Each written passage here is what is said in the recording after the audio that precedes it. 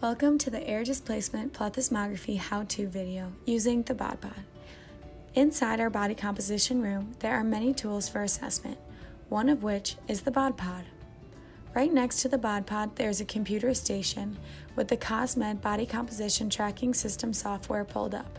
This program should always be open on the computer.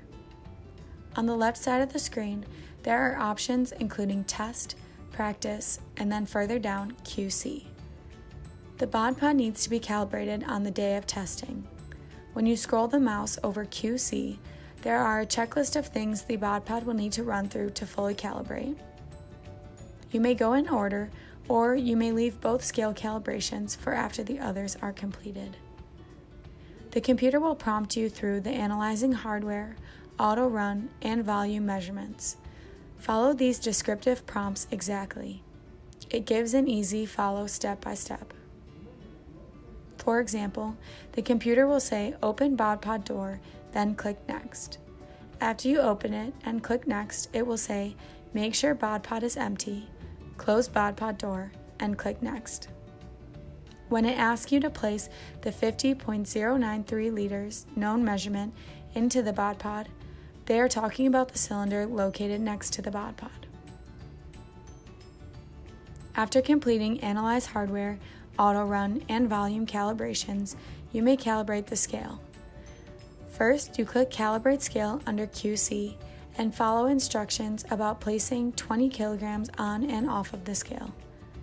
To do this, we use two 10 kilogram weights. After the calibration tarring is done, then you will check the scale. This requires you to move the weight an additional time. It is important that if you are calibrating the BodPod, that you mark each component off after the calibrations under QC pass, which you will know because the computer will say pass in all caps.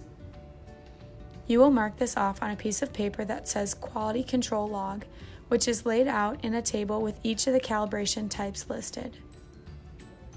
On the same sheet, it is important that you write the date you completed this and your initials. Next to this paper is another form, which is the BodPod usage chart. This is where you track if you are going to test someone in the BodPod. Similarly to the calibration sheet, you must put your initials, the date, but then also the amount of subjects you tested in the BodPod machine and the purpose or reason of testing. If you are going to complete an ADP test on a subject, scroll the mouse over the word test and then over to the words body composition. Click on this.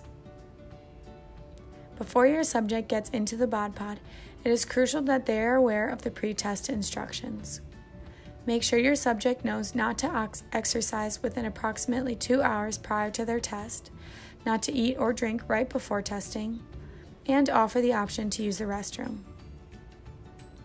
Clothing for ADP is important in order to achieve most accurate results. Clothing for men and women must be tight, for example, spandex, and both must wear a swim cap. Loose clothing, hair, or jewelry will throw off the data. Once your subject is dressed, record their height and input their information into the program, such as sex, height, birth date, name, etc. The BodPod will instruct you to weigh them before the testing using the just freshly calibrated scale. After all prompts have been followed and the computer tells you to open the BodPod door, make sure it is empty, and gives the OK for your subject to enter, you may begin the test.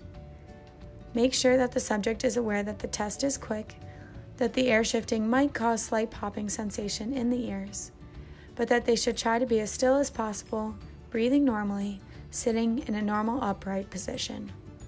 This is a painless test and is easy on the subject. The system will run two tests, and if the data is close enough, the test will finish. However, if one of the two is off, it will ask you to complete the test for a third time. When your subject is done, you may change in the changing room, leaving their laundry in the basket located inside the room. Meanwhile, the test administrator can print out the results through the printer located on the computer station. The results may be classified based on the BodPod risk rating scale.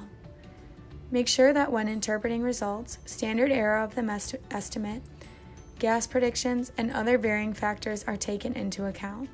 Remember, we are not just dealing with numbers, we are dealing with people, so how you deliver interpretation of results is crucial. If at any point you are confused on either the calibration, the testing process, or the results, there is a binder located above the computer with detailed instructions and descriptions.